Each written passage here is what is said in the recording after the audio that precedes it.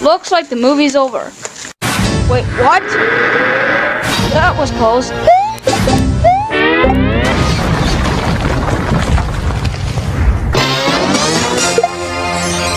Sorry about that. It's okay.